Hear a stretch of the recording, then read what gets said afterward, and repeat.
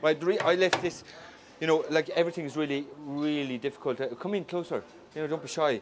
Uh, wh- what's really interesting about this is that everything is so strict now as far as meat is concerned, and which is a really good thing because it means that, like this animal, I can go back to its DNA, to its father and its mother, and find out where it actually came from, right?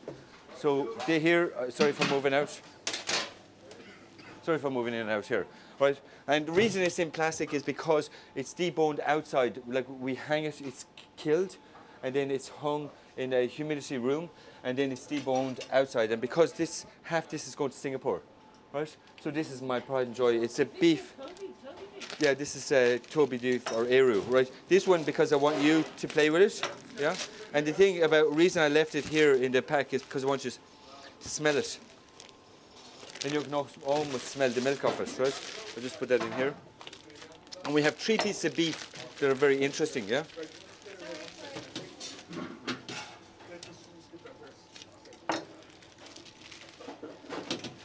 And I just want to show you, oops, show you the fat content in it, yeah? Thanks. Sorry about that, Stuart, yeah? Oh, no, Stuart's brother. It's not Stuart's brother. Yeah? Right. So you just cut it down.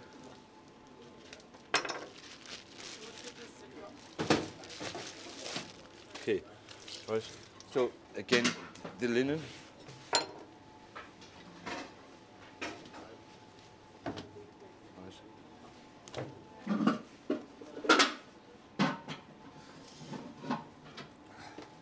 There.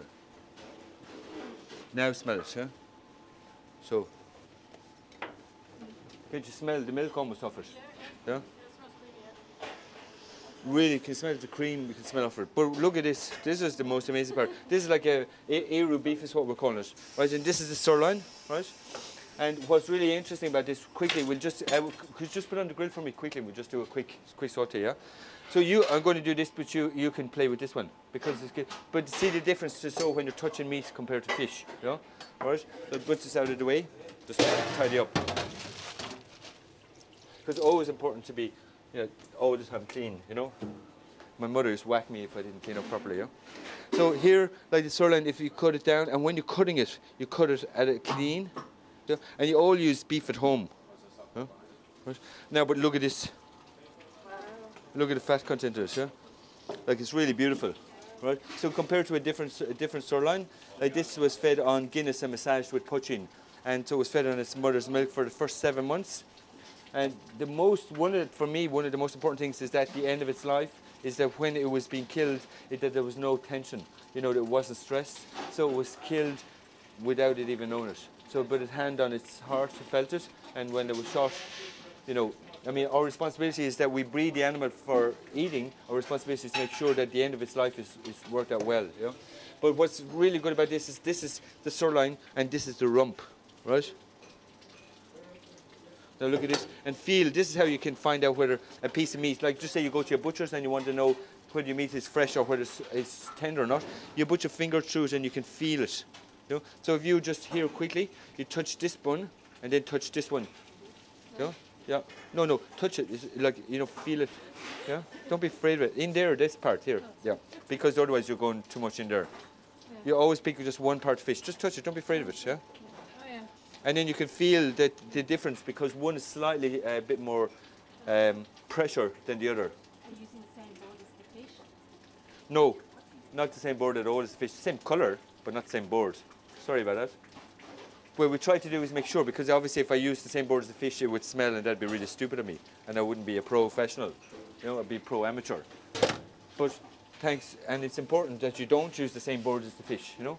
So you use it, tu- turn it around, you know, different aspects of it. Right, so what we're going to do is that, and then this, this part here, you know, it's from the flank, and see the fat content is really high in it. So you come down, and then you, you know, you. So again, with, with the fish, with the meat, you have to know where all the parts it, where the sinew is, and you're cutting down. But you see, what's interesting about it is the marbling. Look. And what we're going to do with these two pieces, we're going to cook, cook these two pieces now in a second, and we're going to cook a piece of this. So, and the whole idea is that you taste each piece. Will you taste?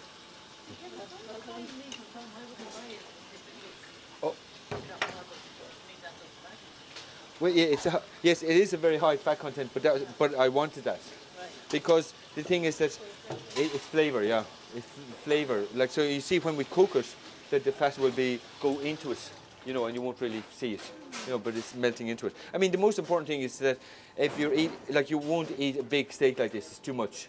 You know what I mean? Where a normal piece of meat for me, it's too much anyway. Like this is about uh, uh, 160 grams, you know, so it's a lot, a lot of meat to consume, all right?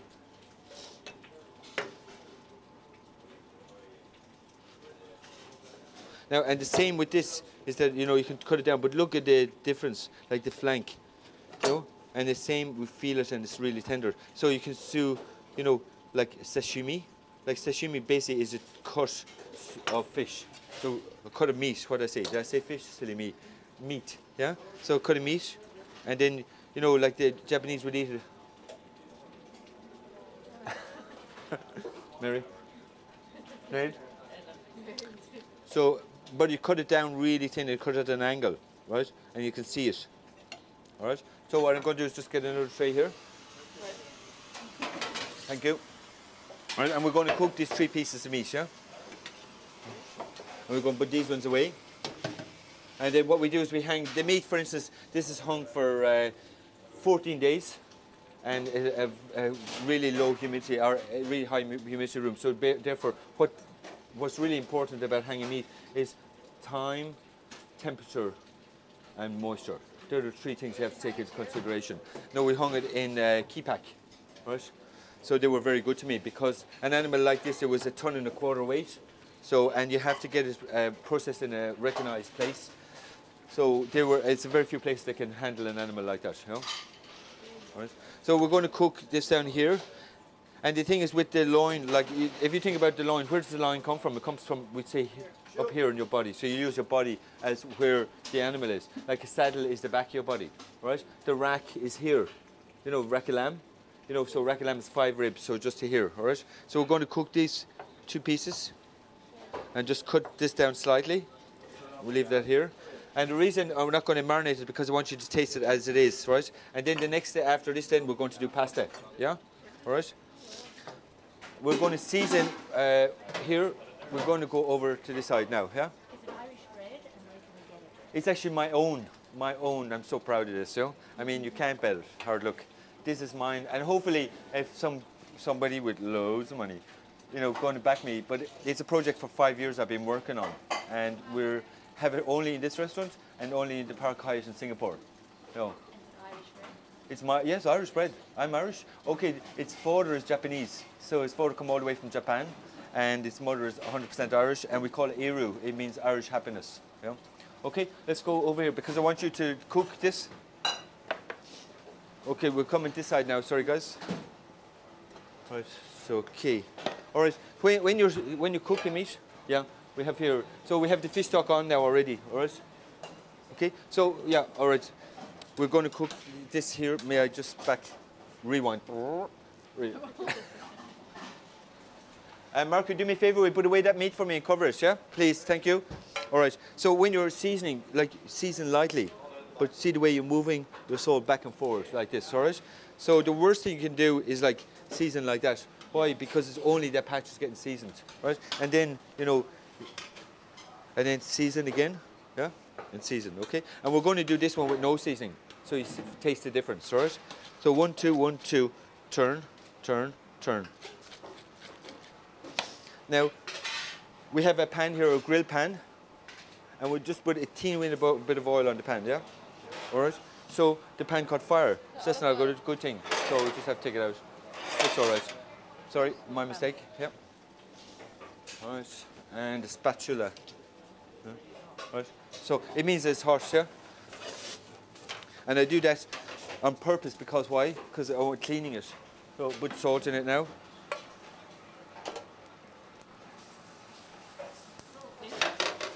Yeah, so it takes all the dirt off it, you know, like the grill and the grain, you know. Because like you know, you when you wash your face and you use that grain, Yeah. So it's- what's it called? Exfoliator. An exfoliator. This is a pan exfoliator. Yeah. yeah. So, so we that's a beauty treatment for the pan, yeah. It's very interesting. though, isn't it? But just look at it, look at you know, it's come off. Uh, you know, it's come off itself. You know, so this all the pores in your skin. It be like really like that to do that? Because It's better to do it like that when it's hot because what's happening is that all the all we say the little pieces that the grains are coming loose and they're easier to move. Like when we're cleaning the range, for instance, it's better when it's hot because then you put water, vinegar, and elbow grease are the three main ingredients, and then you work it, and then you get like this, and this should be the same. No, so you clean this three times a day, so it's like a piano. You work the piano to make sure it's in, right? So you see the way it's all. Yeah. Because you can buy cheap tablecloths. Cheap tablecloths. Sold. Oh, sold. You know, for Oh, that word we don't use. what, cheap or sold? You know, the, uh, yeah, you can buy cheap table salt. Yes, there are a lot of places for cleaning. Yeah, yeah. And for instance, like if you do, even if you use a rock like a salt for uh, marinating in something, and you can use that as well. You know, but see now, look at the difference in the pan. You know. Okay, all right. So now, put it back on. And oh, these are stock here now. See the start to stock there, right? So we put that in here at the back. Right. And then I'll just put, sorry, I'll be able to wait 30 seconds, yeah? Yeah. Oh, yeah. Now you see the pan is, you know, nice and clean now, and you just one more, is that olive oil? and that takes a little bit out of it. Sunflower oil, you know? Oh. Yeah. And then we go, because olive oil you don't heat, if you're mixing olive oil, you just mix the olive oil and sunflower oil together, you know? So it doesn't get too hot, right? So I'm going to put a little here, just rub it, and you can see just slightly. Yeah, yeah. Just because I don't want to stick, that's all really, you know? All right, one more thing I've got, because my spatula is out of my pocket. Yes. Marco, do me a favour? I would just clean up there for me. I need a spatula somebody's pocket. Spatula? Thanks. Sorry. Okay, so we have it here. And then listen to that sound. If you don't have that sound, it's not going to do anything for you. Right? And then this one for Bernie. She likes it well done. Yeah? Right? So the thing is that there's nothing wrong with doing things well done. Like the biggest thing is that if you're doing something well done, is that all the moistures are moving in really quickly and it gets really tense. And to me, I don't care if it's the best, most expensive piece of meat in the world, and if it's tough, it's no good. You know what I mean? So the reason, if you're doing stuff well done, if, if you do it slowly and well done, you know, like it goes through three stages, like one rare, so the juices are just starting to push together. Medium, the push more in. Well done, push more in, and maybe, but I think it needs to go more than well done to go to the other side where it goes tender again. You know? So you put this down like this, yeah, and then move it. So see the way nice colour in it, yeah. This is the one we didn't season, yeah, wasn't it? And then you can tell if you season it or not. You know, and the thing is that you know people say you know your fingers disgusting, but really your hands are probably cleaner than most utensils, and we wash our hands maybe a million times a day. You know, and you can tell when you lick your fingers, tell whether it's seasoned or not. Because the thing is that when you're doing, how do you know, for instance, a customer whether it's uh, see, and everywhere here you see there's fridges, so everywhere. So they're set to different temperatures, yeah? They're really, really close, yeah? Just pass me, uh, and Mark, pass me tray knives over there, please. Thank you. Uh, we're going to do pasta. How are we doing for time? 5 to 11. That's not bad, actually. Huh? Ha- any questions? Huh? Okay. All right.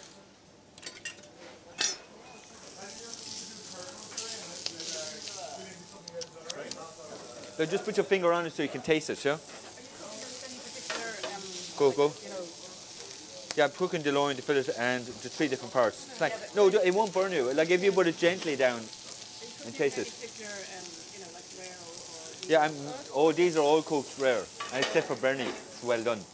Know? So that's why I cook this like this one, so I don't have to cook it too long. Like the most important thing you remember I was saying is that if you're doing something well done, is make sure that you know you, you cut it right, and then you, it's still tender. Because no point in giving to her if it's well done and it's tough and she said that's crap. You excuse the language. Yeah. Okay.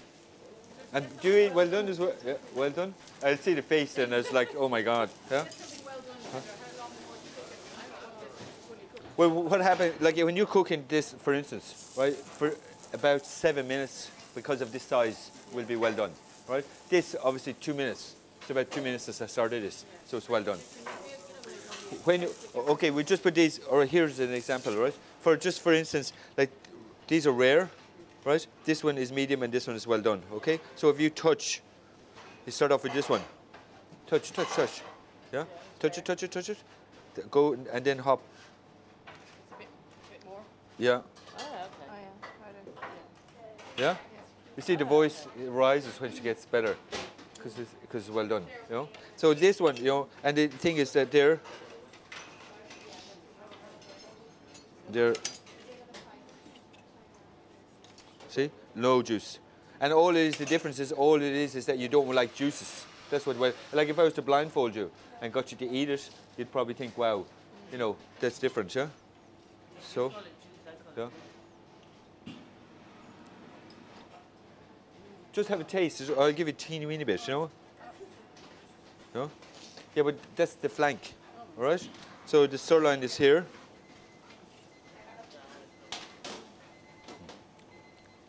And then now, have you tasted it? Mm. Right, so now I want you to taste this one. I'll try one. Um, much more tender. Huh?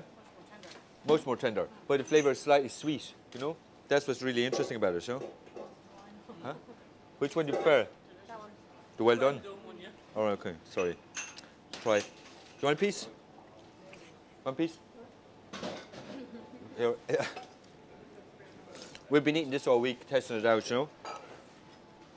But it's really nice, yeah? Is it? Okay. And then the, the best way to serve this is actually do very little with it. So what we do is we do it uh, with horseradish because we have here, and we'll do it for, here this is called uh, holy water. All right? So ishkabaha and we make it with horseradish, and we serve it with horseradish and pea pure or uh, parsley puree and the horseradish grated, and so we serve uh, the ishkabaha on the side. You know, you know ishkabaha, holy water, yeah. Okay, isn't it nice? And now the fat. See, you know the way you say it's fatty, but I think it's important to taste the fat. You know. There. Obviously, you won't eat fat, will you? It's well done fat. But it's really nice flavour, isn't it? Yeah? All right. Okay, next, uh, it's 11 o'clock. Okay, so time is ticking. Okay, guys. You want some? Neve here. It's a well done piece, Neve, for you, yeah? Here, we pass this, Ne- Neve. Here. Kwan? Killian? Yeah? Staff lunch, yeah. Uh, Mark, um, Alan, Jer. Okay, next.